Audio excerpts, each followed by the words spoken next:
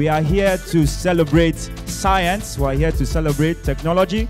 We are also here to promote science and technology in Africa.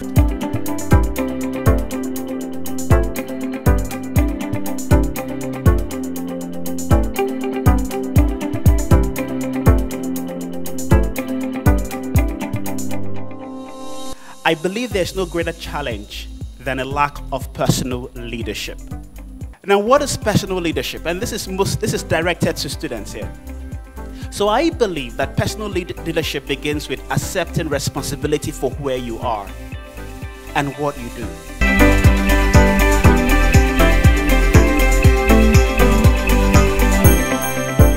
I love what I'm doing now. What an environmental engineer, where do you find yourself? What is the problem we have today in the environment? You have issues of water. You have diseases. You can work in UNICEF. You can work in WHO. There's no nowhere you cannot work. Don't look what you don't have.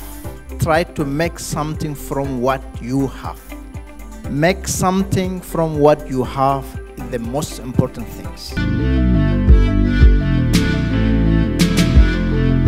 African Science Week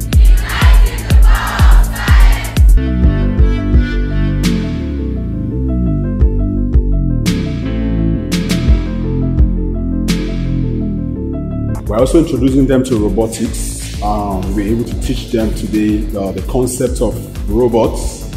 And then uh, throughout this program, they'll be able to do robots for themselves, robots that will perform function. And so whatever they've seen in the movie can be replicated uh, in this uh, training session. In my own class, where I took uh, digital electronics, I had some students who are already making a choice of having a career to do with electronical engineering. As a leaders of tomorrow, sincerely I want to advise you to be enthusiastic about science because if you if you if you achieve success in science and technology then this country would be a better place for all of us to live.